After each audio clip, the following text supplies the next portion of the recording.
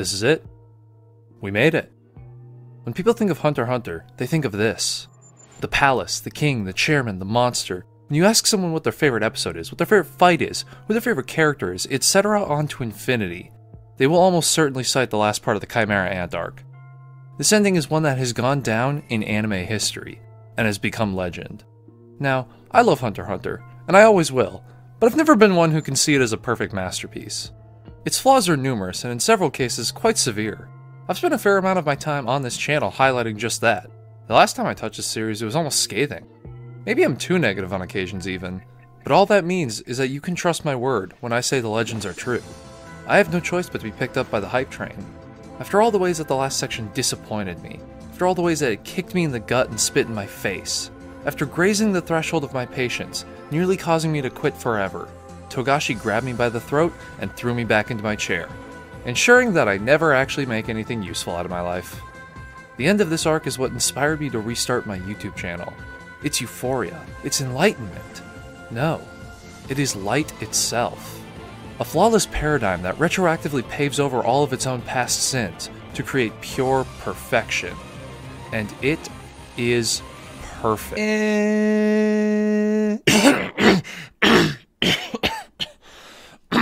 Hmm. God, I hate being that pretentious, even as a joke. Oh, fuck me. Alright, let's take a big step back. I've already spoiled how fantastic I think the rest of the Chimera Ant arc is, and I really want to spend most of this video singing its praises, but I can't. Not yet. Because there are some things wrong with the climax, and I'd feel like a DC fanboy screaming about the genius of Batman v Superman if I didn't bring them up. Or a Marvel fanboy screaming about something. I don't know, I don't fucking care. You're both a bunch of freaks nowadays. In summary, I'm going to talk about the bad stuff first before we spend God knows how long fellatiating Togashi. By the way, I've got good news and bad news. Good news or bad news, actually. It's all about perspective. I know we had so much fun last time, but after receiving plenty of feedback, Also IDK what to tell you dude, but this video is just not funny like it's annoyingly unfunny what you are trying is theoretically funny but you overcommit to it so much it's just not funny anymore. I have decided that we will no longer be doing jokes. We just don't have room for them in the budget, so we'll be talking about serious stuff instead. Grown up stuff. Seriously though, this video is going to be significantly more normal than the last one, and if you're lucky, maybe a bit more normal as well? Maybe. I don't know. Who could say? Anyway, roll the thing.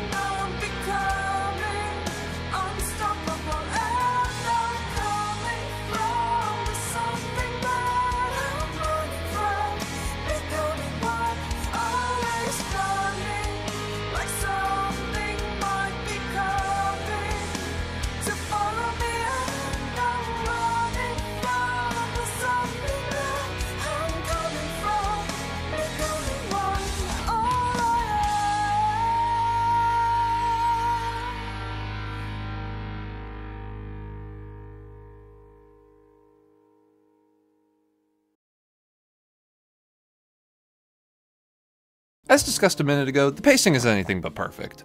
It's actually still pretty bad. I hope you're ready to see this staircase for the next seven episodes, by the way. this section has 56 chapters or 25 episodes, depending on which version you go with, to fill with intrigue, which doesn't seem so bad, right? I mean, York New was only one chapter shorter, and it's a certified masterpiece. If Togashi could do it then, he can do it now. A nice thought, but he's working under a much different set of circumstances now than he was then. York New had 55 chapters for its entire plot to introduce new characters, settings, and conflicts in the first act, develop them, create twists, misdirects, and all that, etc. in the second act, and finally to reach a satisfying conclusion in the third. All the components of a compelling story. The Ant climax has the same amount of space, but only that last little step to fill it with. Now, this is complicated stuff, so if we've got any math experts listening, tell me if you see a problem here. We've got a numbers issue. The climax is typically the shortest part of a story, which is a standard that shonen series have been pushing to its limits for decades now, but even so, being at the highest point of intensity for this long is just fucking exhausting. So far, I framed the situation as Togashi having a certain amount of chapters to fill, but he could have just written less, right? Is that an editor issue?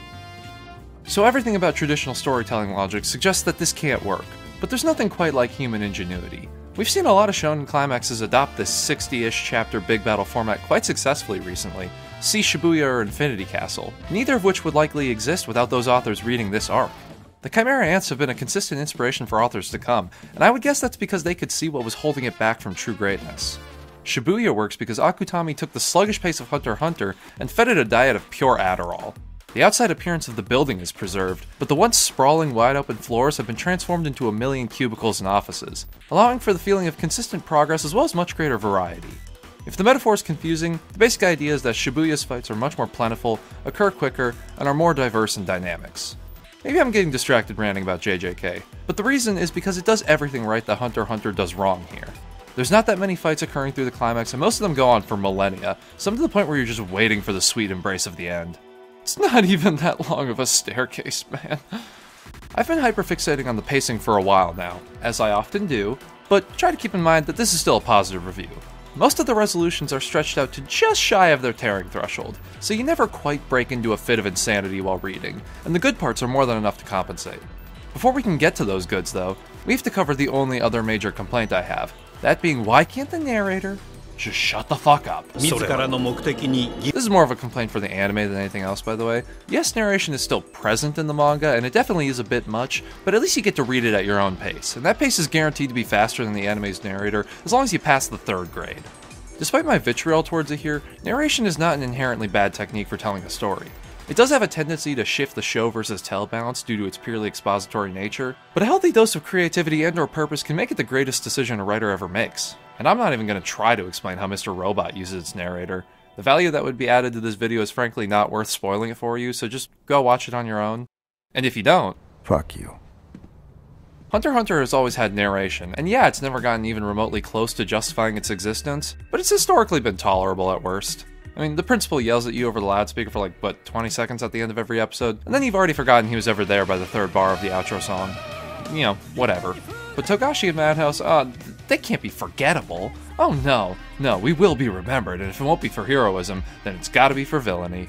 I swear to God, I'm at least 90% sure that they made a bet that they couldn't have the narrator say every word in the English language within 25 episodes. And yeah, they couldn't.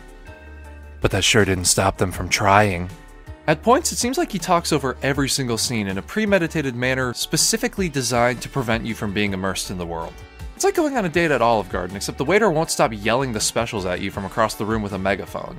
I have eyes, and you have the capability for visual storytelling. Let's both use our special talents. Please, I'm fucking begging you. peculiar shape of the fallout Okay, wow, uh, 1,500 words into the script of this overwhelmingly positive review, and we can finally talk about the things I like. Uh, am I, am I just like a negative person or something? Do I need help? yeah, boy. When I was talking about series that have been influenced by and improved on the Chimera Ant arc, I highlighted their presentation of the original structure. You may not have realized that that was a setup, what with your feeble, soft mind and all. But it was. Togashi's framework is impeccable. Once it gets moving, the section quickly breaks down into a series of individual fights and confrontations as the members of the extermination team attempt to keep the royal guard away from the king. This type of split up is very common within shonen series, especially during war arcs or conflicts with large amounts of characters. Boiling the battle down to one on ones gives the audience a more intimate view of the interaction between two participants' fighting styles, but more importantly, it eliminates the need to draw or animate large amounts of characters at one time. It's as much a production shortcut as it is a stylistic choice. Maybe even more so, and it really limits the ability of an author to capture the true scale of a large battle. There's a reason Naruto's war arc only feels like a war for one episode, and it's money. Also time, but time is money. You've seen In Time. What the fuck? More often than not, it feels like how Shakespeare would write big battles. Have two guys fight on stage while the chorus piss shits and comes his pants begging you to pretend there's an army there. This is functional in theater due to the inherent suspension of disbelief required for the medium, but it's really immersion breaking in a TV show. We're losing him! We're losing him! He's dying! Yet, there are some cheat codes to make war work on a budget, so let's talk about interchangeability. In the Entertainment District arc of Demon Slayer, the main characters are split up into two fights against two main antagonists. Despite being separate in nature, they occur in close proximity to each other within the same setting, meaning that they can and do interact. Characters change opponents, attacks get interrupted by spillover from other attacks, motherfuckers get thrown from one fight to another like a jackass crew member. It's awesome. And this is what I mean by interchangeability. A term of my own creation, and defined as when characters are free to mix and match between distinct yet closely related encounters. Thinking back to our previous example, how boring would that arc be if Tanjiro and the gang fought Daki and won, then fought Gyutaro and won? There'd be no element of dynamism or unpredictability. Equating each fight to a musical instrument, you'd play the guitar line, then the drums, then the bass, so on and so forth. Sure, they sound fine on their own, but weaving them together at the same time, over and through each other, turns it into a symphony of violence. Shifting your pieces around the board even just a little bit helps recreate the intended sense of scale and brings about huge levels of suspense. You can never be 100% sure which pieces will end up where or what effect they'll have on the others until you reach the end, which is how you get me reading entire arcs in a single day. I may have a problem. Hunter Hunter doesn't have quite the same explosive energy as Demon Slayer's attempt at interchangeability thanks to its sluggish pace, but the technique is still masterfully applied to create a satisfying climax. Every single cast member, whether pro or antagonist, has their own unique path through the setting and its encounters. As an example, I'll highlight Killua. He starts out at the staircase with everyone else in the fight against Yuppie, then moves on to the King's Chamber with Gon where he'll face Pito, but not before passing by Netero and Zeno while they escort Meruem. After that, he goes to the courtyard to face Yuppie again, this time with Knuckle and Shoot, then he moves into the hallways and fights Palm, before finally following Gon back to the extermination team's base. There's more steps I didn't mention, but you know, you get the idea. Instead of being stuck to one plot point, he gets to shift around naturally in whatever direction current events are dragging him, refreshing the dynamic of whatever pre existing situation he finds himself in. And that's just one thread out of over 15, all weaving in and out of each other to form a beautiful tapestry. I stand by my earlier opinion that some of the fights go on for way too long, but there's no doubt that interchangeability prevents them from being unbearable, with how the status quo can and does shift on a dime. We'll move on to something else soon, but I'm not quite done gushing about narrative structure, which is my secret crack. The final cog in this wibbly wobbly machine that really glues it all together is horses. I mean, spatial awareness. Glue joke? The basis of interchangeability. Even a small understanding of how the positions of characters relate to each other creates a visceral, immersive thrill, as if the story is inhabiting a real place and not just a series of backgrounds. When combined with interchangeability, the story can produce tension simply by having a character exist in a space. The knowledge of what spaces are adjacent to said space and what is going on in them then forces the audience to wonder if the proverbial main character will collide with those neighboring occurrences or not, creating a self sufficient suspense generator. The Chimera Ant climax, I'm kind of starting to hate the word climax. Let's try a few synonyms. The Chimera Ant apotheosis is one such machine. The King's Palace is a very impressively constructed setting. We spend a large portion of the second act viewing it from every possible angle, creating a thorough mental map of the connections between gates, doorways, halls, staircases, and so on well before the zenith can even begin. What's more impressive is how subtly this is done. You never feel like you're being lectured on a virtual real estate tour. Instead, environmental education is woven into the background, being passively absorbed by the viewer while they focus on the characterization and plot at the forefront. Characterization. That's a good segue. Almost all of Togashi's best character writing is compressed into this narrative peak, to the point where I won't be talking about basically anything else for the rest of the video.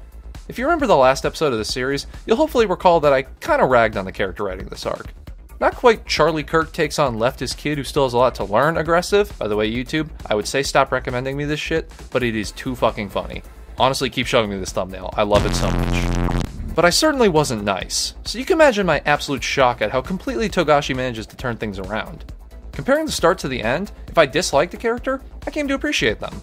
If I liked a character, I loved them. And if I loved a character, I became obsessed with them. This is the first and only time I will ever care about Shoot. I remember who Welfin is. Zeno Zoldyck, who's he's just randomly fucking here, he gets super compelling character development. Why? How? I mean, what wizard wrote this? I like Palm now. Even she decides to go the way of the Texas DA and escape from the Chris Hansen shenanigans by fucking dying. Only to come back as Bugs! and shit, am I crying? It's downright bizarre how much more compelling the characters and the plot are here than they were just a couple of chapters ago. A good deal of that deficit is inexplicable with anything other than eldritch magic, but the most significant non ethereal driver of this change is the stakes. It's pretty much writing 101 that stakes are crucial for getting an audience invested in any story. Your characters have to want something, you have to want them to get that something, and there has to be at least the impression that they might not get it. Some sense of danger, to put it simply. Which brings us to a problem. The rest of the arc doesn't have any. Act 1 gets a pass since the whole purpose is to create complacency through that absence, and then terror upon its sudden re-injection. But Malcolm in the middle drops it off a cliff like it's his baby. All my Spartans and ice apparitions, put those hands up! Then the apex starts and the problem goes to heaven. Watching the apogee of the ants, for the first time ever, it feels like your favorite character might die. Almost everyone is facing down foes magnitudes more dangerous than those shown before, and there's a lot more on the line than just their individual lives. Even if Knuckle merely gets incapacitated, that still means Yuppie is free to beeline it to Meruem and put Grandpa to bed, which would ruin the plans we've spent hours upon hours watching this team put together. Just the idea that all of that effort and all of that time we spent might go to waste makes it instantly more compelling. The best character writing, however, and where the stakes are the highest, is within the paths of Gon, Killua, Netero, Komugi, and Meruem. Warning, this is. It, it's gonna take a while.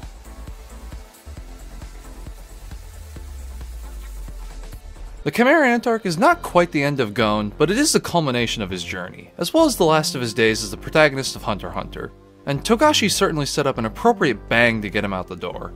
No moment in the series has as much build-up as Gon and Killua's rematch with Neferpito, the greatest antagonist that either of them ever have or ever will face. The last time the three of them met was when they were brought to the lowest point in their arcs. They were beaten and defeated, too weak to even witness Kite's battle, much less the sister save him. A clear setup, only made clearer by the intervening training. Fall short, temper yourself, and grasp victory at last. In this moment, typical narrative logic would dictate only good things for our protagonists. They fell short, they tempered, and now it's their turn to grasp. Where there was once defeat, now there should be victory. Where once they stood beneath the monster, now they should stand above it, dominant and in control. Traditional narrative logic holds true. The two boys tower over Neferpito, and Gon holds power where once he held nothing but failure. And it is terrifying. Anyone who has ever been even tangentially familiar with Hunter Hunter knows what Gon is supposed to be like. This is how he looks, and he acts pretty much as he appears. So when you see this, it feels wrong. There's a massive disparity between these two states of being, and not knowing the context leaves you to assume there isn't any way to bridge that gap without pulling it straight out of your ass. But there's the thing this makes perfect sense. Nothing has ever made this much sense in the history of the world. It's one of those perfect plot twists that no one would ever see coming, but you really should have. Gon was destined to break at some point, but why? Why here and why now? All good questions that I don't think most people have the answers to. Here's my personal interpretation, as well as why I think this is one of the best character moments I've ever experienced. Gon is the epitome of Hunter x Hunter, Epitome. specifically in its status as a genre deconstruction. Just like how you can enjoy the series normally, but will get much more out of it if you're familiar with the conventions of its predecessors, Gon truly shines in the context of other shonen heroes. If you were to boil him down to the broadest of strokes, you'd find little more than the most basic of protagonist templates. A go getting, once in a lifetime talent with an uncanny ability for drawing friends and allies to their side who wants nothing more than to get stronger. He's your standard Goku, Naruto, Luffy type, and that's a fine archetype. I probably wouldn't be this into shonen if I didn't have some fondness for it, but you can't deny that they're pretty homogenous in their desire. It's always power. In a world that runs off of trading fists instead of words, strength is the essential currency you need to participate in the narrative economy, so it makes sense from a writer's perspective to motivate your characters with physical improvement. Most of these series also have a strong fondness for classic ideals of masculinity, leading to a worldview largely in support of the quests they portray. I happen to also have a soft spot for that kind of thing. Say what you will about where that fondness comes from, but it's there. Especially when it's in Yu Yu Hakusho, which. Hey, wait a minute, Togashi, that's you! Well, that's a convenient comparison. Team Urameshi is probably the premier example of what I'm talking about anyway, so don't accuse me of reaching here. If Yu Yu Hakusho is one of the classics of classic shonen, then Hunter Hunter is a response, and Gon a counterargument to Yusuke. Beyond the first couple of storylines, Yusuke's character arc always revolves around pushing his abilities to new heights. He has to get stronger to defeat Rando, stronger to protect the ordinary world from the Saint Beasts, stronger to save Yukina from slavers, stronger to protect all of his friends from the Toguros, strong enough to save everyone from Sensui, and stronger still to stop a three world war. You can measure his growth as a person by the size of his spirit gun, and that is not a euphemism, I promise. And it's satisfying because he's always doing it for the right reason. That classically masculine concept of being a protector and defending the people you love.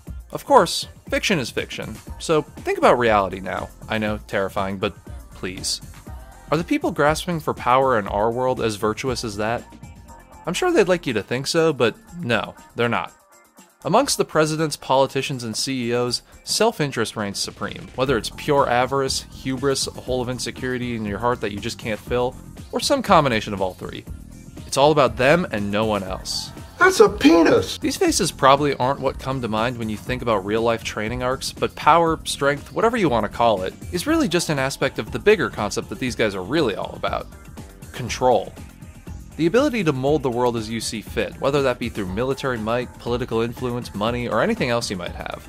Even though one is required for the other, these two concepts are not the same.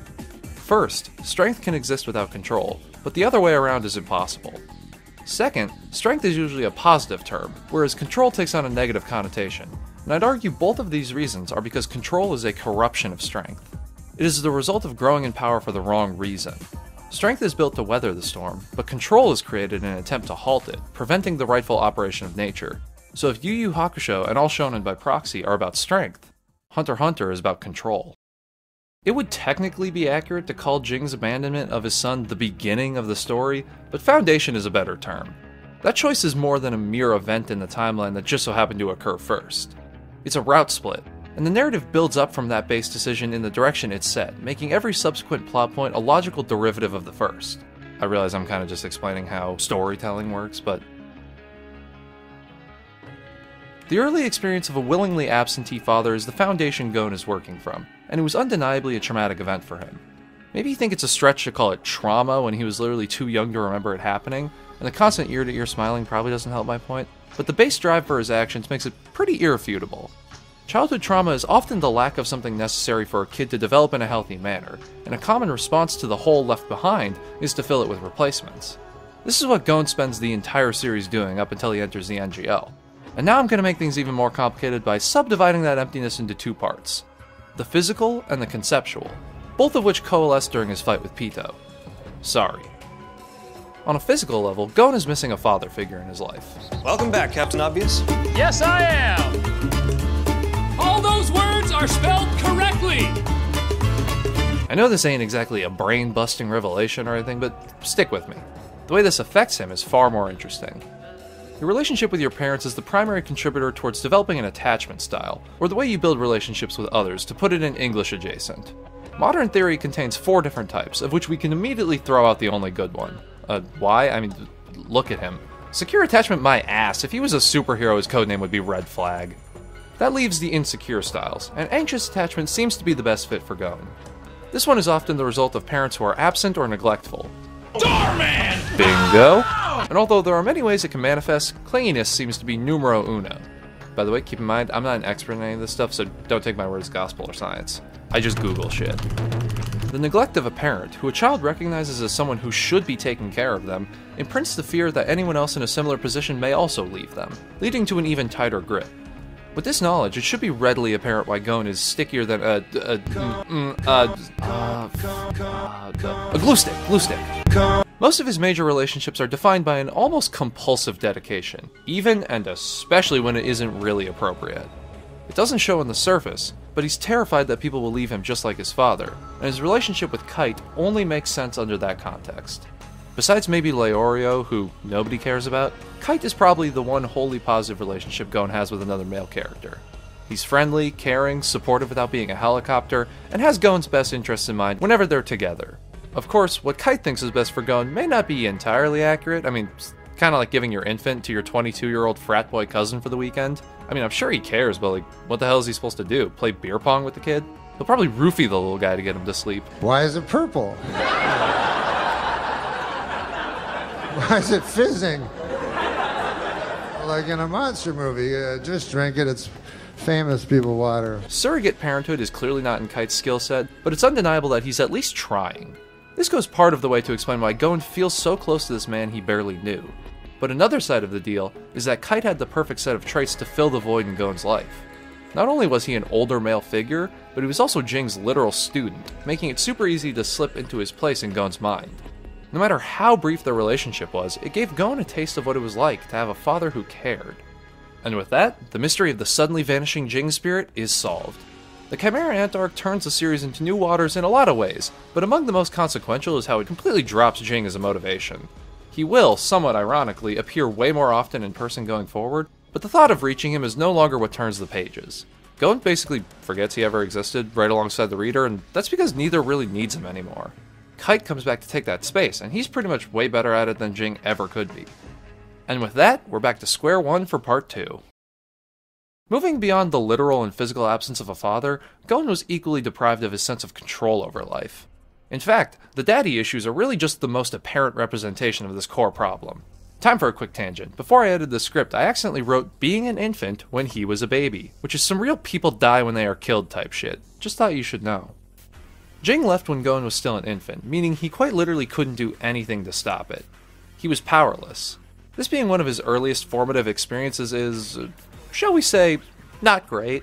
He clearly feels the empty space where his father should be and wants it to be undone, so not being able to affect that system in any way bred deep seated frustration. I am unhappy, and the cause of that was my lack of power, so if I become powerful, I'll be happy. That logic carries most of the story from that point onward.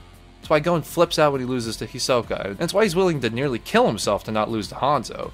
Why he works so hard and does more borderline self harm in Heaven's Arena to box the clown, and why he'll literally let his arms be blown off in a bid to shut down the bombers. The assumption is that winning those fights will make him happy, as he will prove his control over the universe and be one step closer to reaching his father, the ultimate proof of agency. And Jing, of course, is not fucking helping in the slightest. That message where he tells Gon they'll only meet if he can become a great hunter and find him took the idea of control he already had and reinforced it as a core value. As we already discussed, this value is then what causes him to nearly kill himself over and over and over and over again. Fucking Dazai, motherfucker. Parenting move of the year, as well as one of the most brilliant parts of Hunter x Hunter. The use of a more realistic protagonist reframes the usual steps of the shonen formula as steps towards self immolation. Togashi gets to explore the limitations and potential of his genre, while also commenting on so many psychological, societal, and philosophical concepts all at once. I, I think I'm starting to understand why people plagiarize. You may have noticed I skipped over two arcs in between all those steps, but that doesn't mean they aren't important. I separated them out because York New and Zoldyck family show how Gon's trauma affects his relationships with people as opposed to his relationship with strength.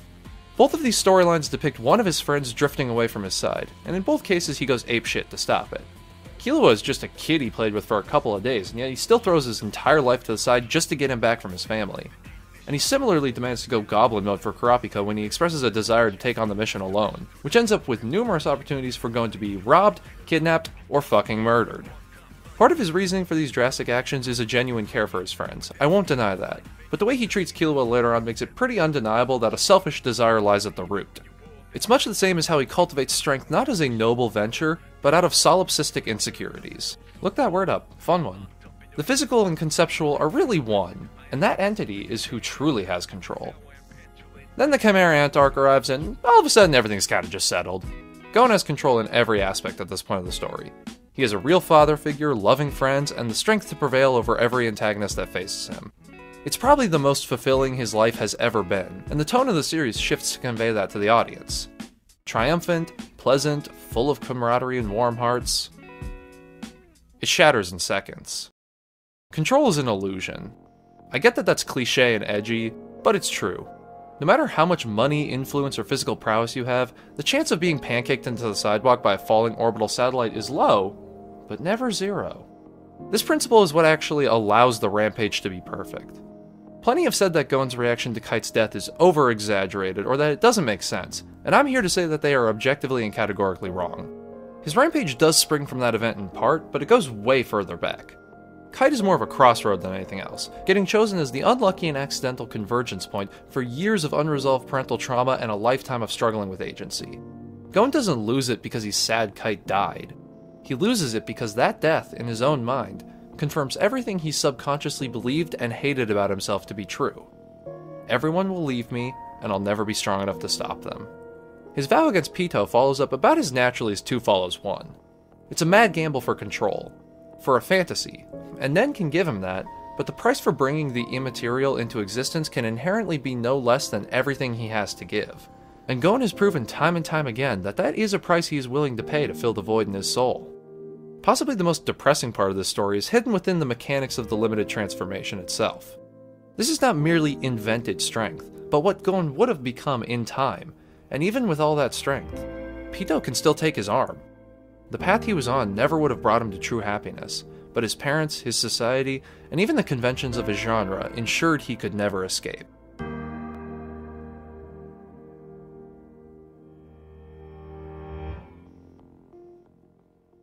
Shit, no, nuh-uh. There is absolutely no fucking way I'm making the Chimera Ant arc into four videos. We're gonna ignore Killua for now and talk about his development during the chairman election. We gotta get this crazy train moving. If the Gon section sounded like a whole lot of climax to you, uh, congrats on being dumb. That was only the first half.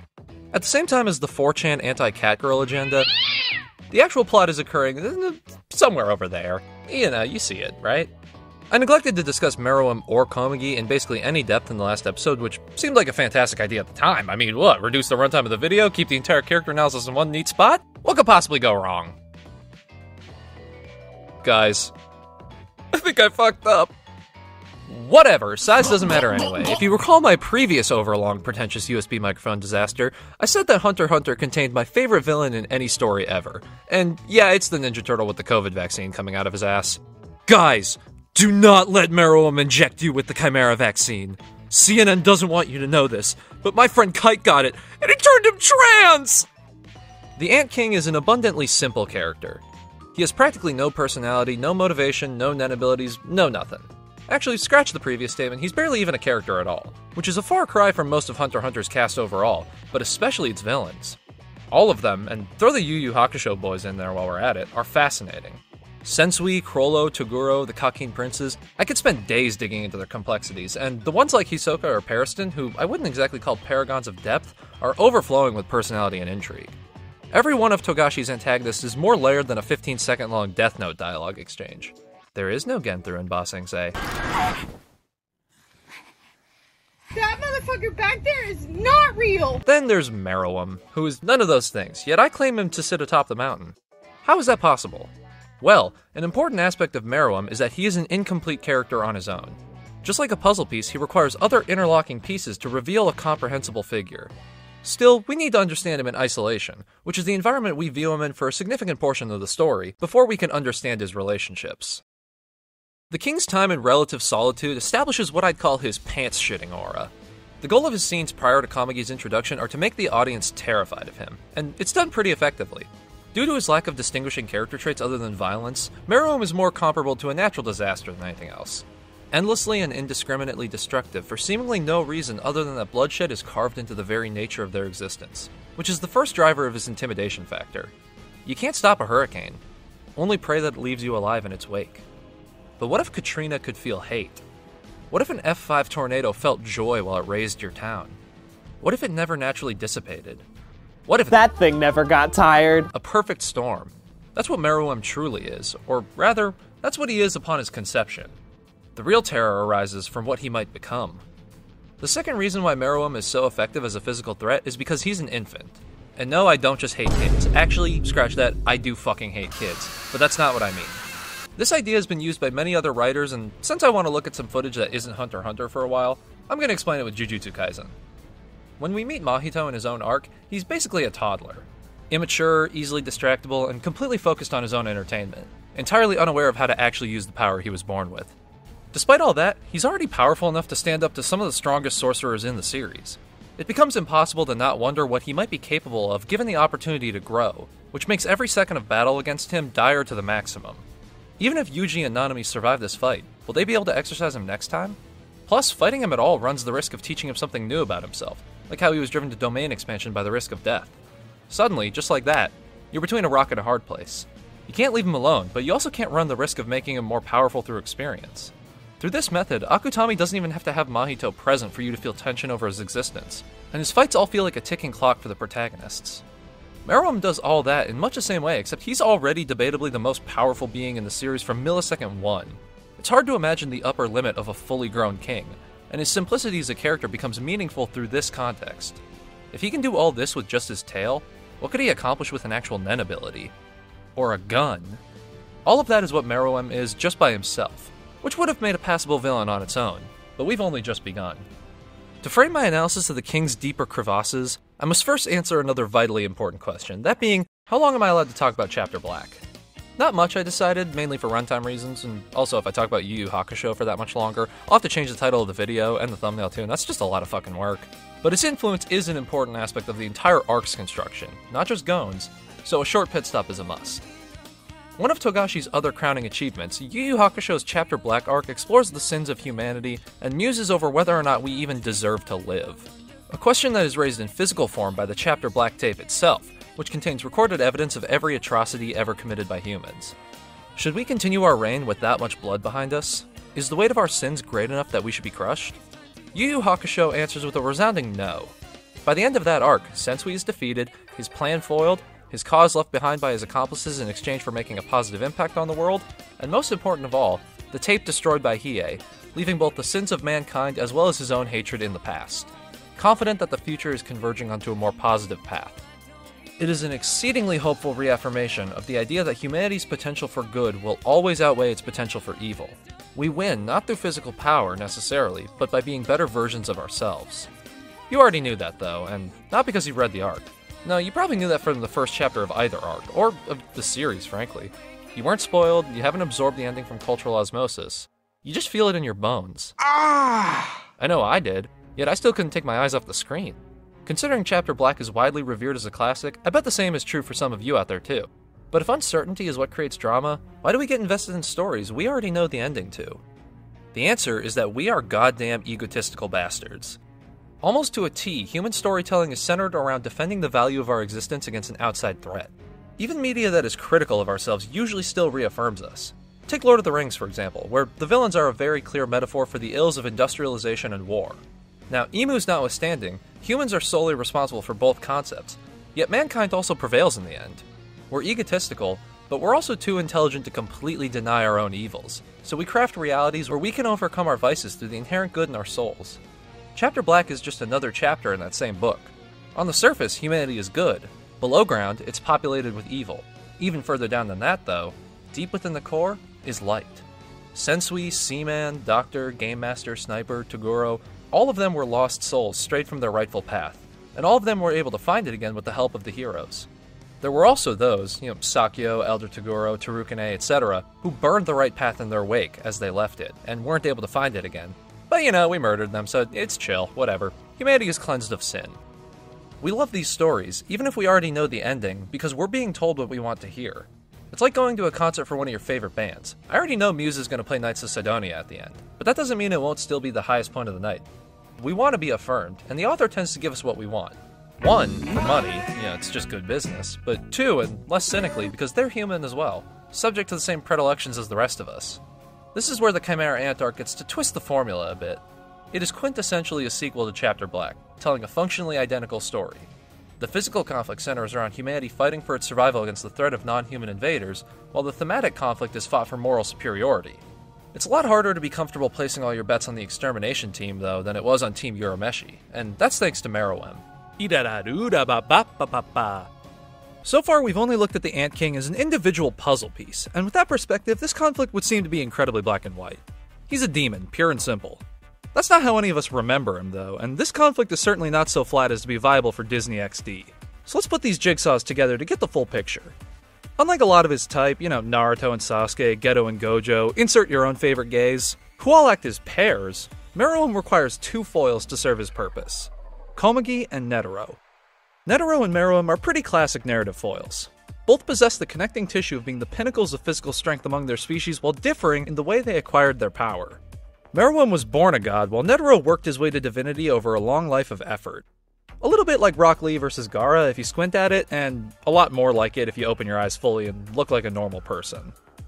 The conflict between earned and unearned strength is a bit of a reoccurring theme in shonen fights, which has a lot to do with the genre's relation to human nature. I know I said I was going to stop being pretentious. Here we go.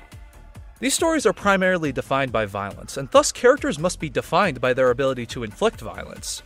This is not any matter of distorted reality, rather a near perfect mirror, reflecting humanity's genetic instincts back at us.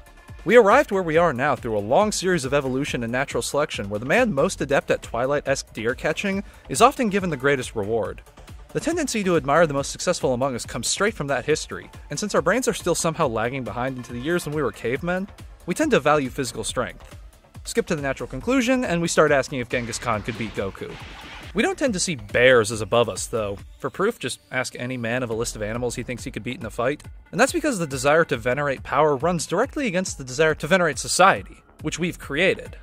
From this contradiction, the action hero is born. I think we really love shonen and action adventure stories at large because the main characters who lead them use their power, which appeals to the parts of our brain unaffected by 6,000 years of civilization, in service of preserving the best of our qualities which came later. The villains, often holding near equal strength, can then still appeal to our smooth brain side without much risk the audience will prefer them to the hero, since they stand in opposition to the qualities we value. In a way, the entire genre is a reaffirmation of the value of violence. If battle is an inherent part of our nature, then we need violence in the service of other values to stand up to it. Applying that logic to our current predicament, a surface level examination should cement the expected answer even further. Netero is defending the organizations, systems, and people the story has focused on and glorified up to this point against Meruem's indiscriminate killings. A dumped out bucket of razor blades versus a finely polished rapier. Now, before you start yelling at me, I'm not making that argument. This is only true if you ignore the entirety of Meruem's development in the second act, which comes by way of his other foil. Komugi really shouldn't mean anything to the king whatsoever. His ideology that violence is the only force of significance in the universe is so diametrically opposed to her vulnerability that she might as well be the woman to his League of Legends player. Murdering her would probably take less effort than it would to keep her alive. Putting that in his language of natural selection, she has no right to survive. Bars! The only reason the relationship extends beyond victim and victimizer is because of another Togashi pearl of wisdom. Control and power are a type of boredom far beyond misery. Don't believe me? Well, why are so many rich people depressed, and why does Meruem spend most of the second act farming wheat and settlers of Catan? It's because meeting challenges and finding ways to overcome them is what makes life interesting. A world with no friction is a world of pure tedium. So although Togashi frames it as purely a time killer, Meruem's board game habit is most likely a subconscious search for challenge. Why else would he allow this guy time to recover from his illness and then a rematch afterward? No one can entertain him in a fight, but maybe the country's greatest players can in their respective specialties. For as long as that doesn't work, he fails to find much interest beyond seeing the hands of the clock spin, but an obsession develops the second Komugi steps onto the stage. She is the only person who can beat him, although not in a battle of fists. Every other player Meruem beat strengthened his belief that proficiency in violence ruled all things, but his ability to win against someone so completely incapable of physical dominance shatters that perception. There must be forces in the world with value other than power, and realizing this forces him to abandon his worldview and reconsider the role of king. What is the point of his mindless pursuit of physical dominance? Now, this doesn't mean that the pursuit of supremacy is always corrupting, of course. Komugi is equally dedicated to being the best in her field as Meruem, but her skill is Gungi. Gungi? Funky chess. It's a game, one that requires nowhere near the same level of sacrifice as his. She can still have a personality, friends, and a family, but Meruem's society demands nothing more from him than to kill and be the best at killing. Those ties could only ever hinder that mission, which is why he stays away from them, and also why we dehumanize both our enemies and ourselves in war to at least some extent. The presence of connections creates empathy and forces you to imagine your prey having similar connections. How are you supposed to slaughter them with maximum efficiency if they're just like you? But if his mission is greater than Komugi's, or even if they were equal, why does she de- why does she why does she derive joy from hers while he gains increasingly little pleasure from his own?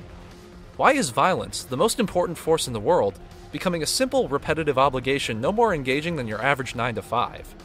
The interaction with this person, so opposite to himself yet so similar at the same time, is what allows Meruem to break away from valuing only what aligns best with our evolutionary history.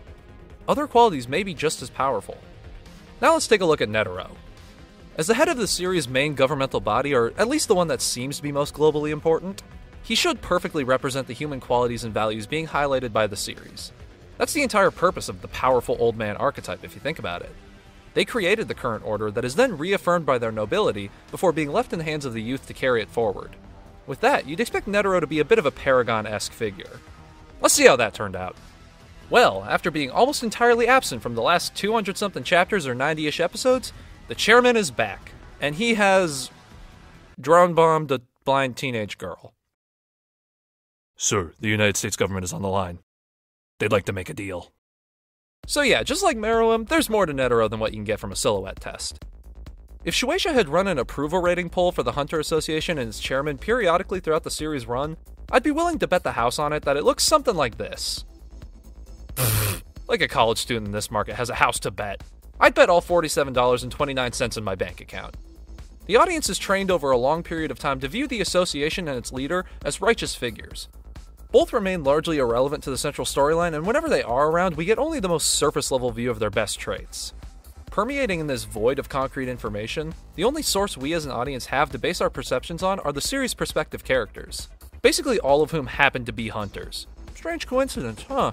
Not even mentioning the fact that most of our main characters are very enthusiastic about joining the system. Togashi shades the way the reader sees his world in an almost cult like manner, withholding just the right amount of information to prevent you from asking questions, which is really good for the Hunter Association. Because if you stop to think about it for longer than like a couple of seconds, it becomes clear as day that this shit is Professor Toad pitching in Mario Super Sluggers for the Wii levels of broken. Congrats to me for writing a reference that like two people will get. As I see it, a proper organization or government needs to have two qualities in the right proportion authority and accountability. The exact ratio desired will depend on your political philosophy, of course, but I at least believe a balance is necessary. A government with total authority and no accountability is tyrannical. No barriers exist to prevent them from stomping all over the citizenry. On the other end of the spectrum, a government with total accountability and no authority would be completely ineffective. How are they supposed to help if they can't do anything? Maybe you'd like that if you're an anarchist, and uh, sure, go off, King. I'm not here to argue for or against that position. Oops, my anarchy symbol. I'm just here to point out that the Hunter Association's position on this scale is just a little bit fucky wucky, for lack of a better term. If you were to qualify the Boy Scouts of America Armed Forces Division as a governmental body, which I absolutely do, I mean, every hunter is given total international amnesty, funding which I can only assume comes from taxes, and they're called in by world governments to solve political issues, kind of like how the UN would if they had any problem solving capabilities whatsoever. That right there is a fantastic example of no authority, all accountability. Anyway, for a political organization, the Hunter Association has overwhelming authority by way of its military might. Despite the number of hunters being rather low, there are individual members like Netero and Illumi who could probably solo an entire army, and even the lowliest of Pokkles are magnitudes stronger than the average soldier. I'm so sorry that I'm slandering you, baby. Nen is also a mysterious realm that most of the population can't even see, much less fight back against. Could a fully united association beat Goku? I don't know. Consult with an even dorkier channel for that. But they're definitely no diffing the US or China. With that level of power, they should be getting checks and balances in the mail like I get messages from Team Snapchat on Valentine's Day. But you know who can get a hunter's license? The known murderer and groomer who gets erections while looking at children on live television, who also dresses like a clown. I think the last point alone should be more than enough to disqualify Hisoka, but no, no, let's use our tax dollars to fund him and his ideas. He really, he really seems like he wants to help people. There are no rejections from the association on a moral basis unless you literally kill someone during the exam. In which case, they don't even arrest you. They're just like, guys, no killing other contestants in general. This has been a consistent issue. You're in your flop era, honey. Uh, bye, bitch. So terrible people are given access to ridiculous amounts of money and the planet, and the power structure they exist under does almost nothing to keep them in line. Sure, the rules restrict heinous crimes, but that's a little bit a lot fucking vague. This isn't a heinous crime? And if it wasn't already clear that this organization is in place for the benefit of its members and no one else, literally the only restriction against killing in the rules is that hunters may not kill other hunters unless they happen to be a Heinous culprit. Also, there's literally nothing in place to stop Hisoka from getting elected chairman and turning this joint into a second man-boy love association. Even if he'll never be popular enough to get the votes, neither were Bush and Trump. The fact that it's possible at all should probably worry somebody.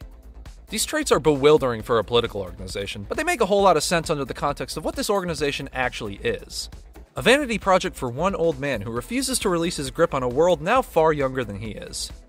Sir Isaac Netero has been ruling over this organization for a long time, and all of its rules are specifically crafted to support his selfish pursuit of ultimate power. Members are licensed based on strength due to his hope that they might someday be strong enough to entertain him. His council, people who have a lot of international power, were chosen purely because they can do fisticuffs with the old man without immediately dying. Ging shouldn't be allowed to manage a pet rock, much less a goldfish, much less a child, much less international politics. Yet here we are. He picked Pariston as his vice chairman because he thought he would be the most difficult to work with, therefore the most fun. That'd be like if Bernie and Trump decided to share the presidency. If this guy hit me with a good morning, I'd probably cry. That's how obviously evil he is. Similar to what is often the case in real life, the older generation has used their power to shape the world into an image that benefits themselves, making Netero an inversion of his archetype. Like I said, your average third Hokage or Yamamoto figure is meant to instill reverence for your elders and the status quo, but Hunter Hunter is more intent on highlighting the hypocrisy that tends to come from them. If your world is so great, why is it only for you? It's not like Togashi is exactly subtle either. I mean, for his Nen ability, Netero summons a Bodhisattva, who are all about compassion and working for the benefit of every living being, and then he uses it to just go to town on motherfuckers. Only a little bit of a tip off, if you ask me. So even though Netero is clearly fighting for the survival of humanity, it's not clear how much of his reasoning lies in the fact that the loss of humanity would correspond with the collapse of the systems he created and exploits. He is the twisting of admirable human traits. Meanwhile, Meruem is on the path to an actual appreciation of compassion and empathy. Sure, he isn't exactly there yet, but he lacks the pure avaricious stranglehold on reality possessed by the old guard of the current world, creating an inversion of the expectation set by Chapter Black and practically every other shonen story. The villain is the one truly worthy to possess the future, not the hero. Even the very structure of this series is crafted to support this conclusion. We get a wealth of scenes observing Meruem, our villain, watching him develop and change, while Netero, our hero, quotation marks, is a complete stranger. The signs have been there all along, and it's for these reasons that Meruem wins this fight.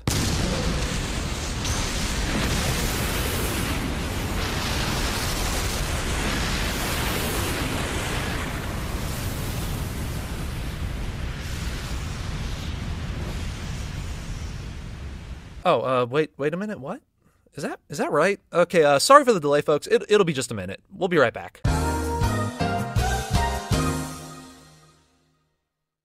Okay, we just sent the footage to New York, and New York has confirmed that Netero has won the fight. You know. Guys, guys, I'm sorry. No, there's a, this, there's a mistake. Netero. You guys won the fight. That doesn't make any sense. How on earth has this happened? Well, it's actually incredibly simple. Meruem may have been on an upward path to understanding and peace, opposite to Netero's lifelong headspin into violent depravity, but he wasn't human. We knew how the story ended from the very beginning. Humanity wins. Of course, humanity wins. We always do, in real life and in fiction. These stories aren't merely lip service to our egos, they're the truth. We're the victors, but not because of any inherent moral superiority. No, we prevail because more than any other species in existence, we have a bottomless well of malice. We will do anything, no matter how disgusting, depraved, fucked up, or evil, to ensure our own survival. Netero chooses basically the cruelest possible backup plan with no consideration for the effect it would have on anyone else, and it doesn't even save his own life, but it gives him the win. That's what's important to him, and that's what's important to the people who rule us, and their victory will always rule over our morality.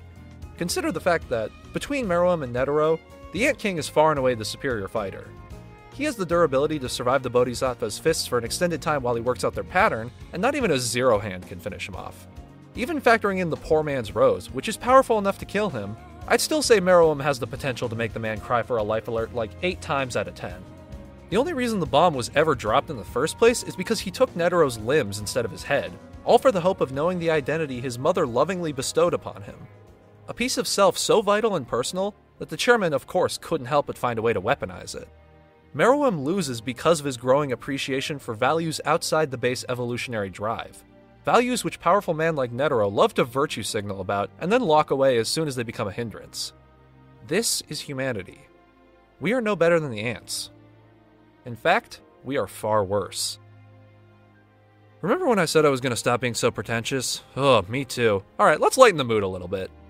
The messaging of this story isn't entirely so bleak, and to prove it, I return to the idea that Hunter Hunter is a deconstruction of the shonen genre. Hopefully, for the final time. One of the biggest action adventure conventions is the final battle. Stories end with the point of highest intensity, it's just common sense. The average person has seen this formula play out so many times, including in pretty much every shonen ever made, that they instinctively assume they'll get an epic conclusion.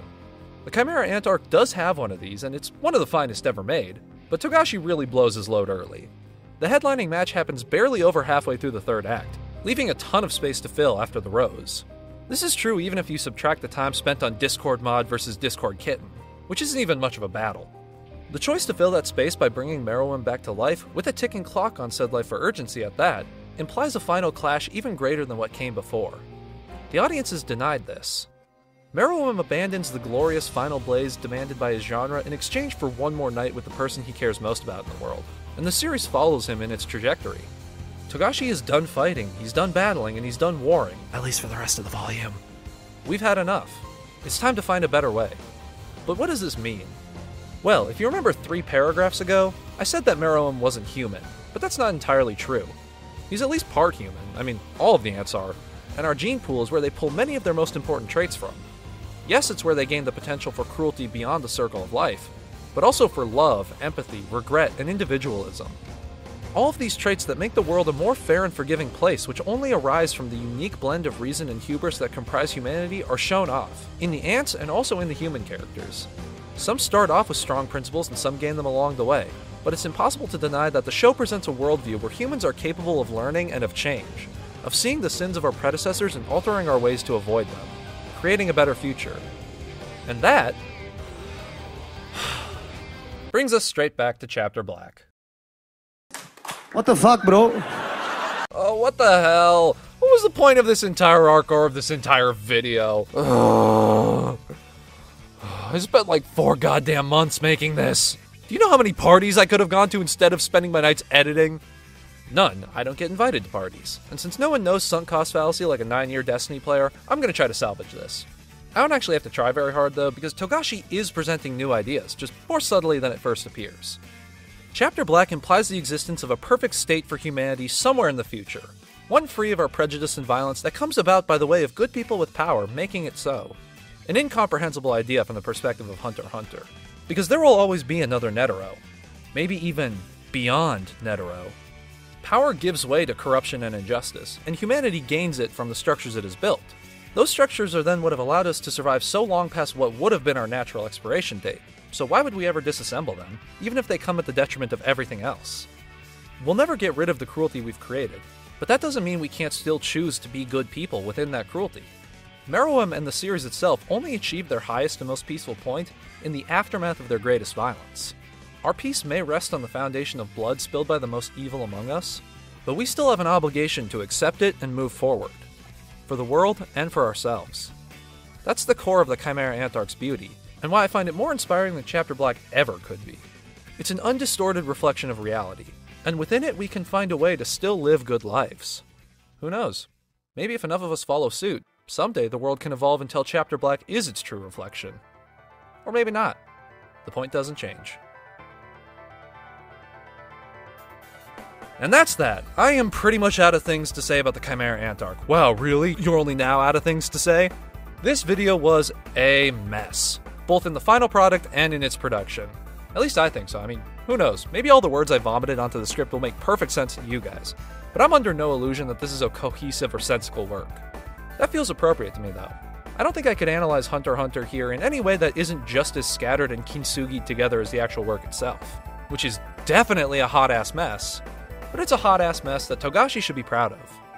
I'm proud of this video too, even if it isn't all I imagined it being, and because of that, I feel like going just a bit above and beyond. The real video is officially done, so feel free to log off, but I'm going to run through some bonus features now, starting with individual score rankings for each act of the arc. The first act is Solid as a rock. well paced, well plotted, great character work, and great action. I really have basically nothing to complain about here. 8 out of 10. The second act is kind of a stinky poo poo, but it's not really that bad. If there was ever anything in the universe that qualified as mid, this would be it. And so it takes a big fat 5. Finally, I've got my problems with the third act, but they're so overwhelmingly dwarfed by whatever the hell I spent the last hour of your life and the last 2,000 of mine rambling about that I have no choice but to descend from the heavens and place a thick, juicy 9 out of 10 on it. As for an overall score, I could average the individual numbers out and leave you with a 7.3 repeating on to infinity, but the second and third acts are so much longer that they kind of have to be given more weight.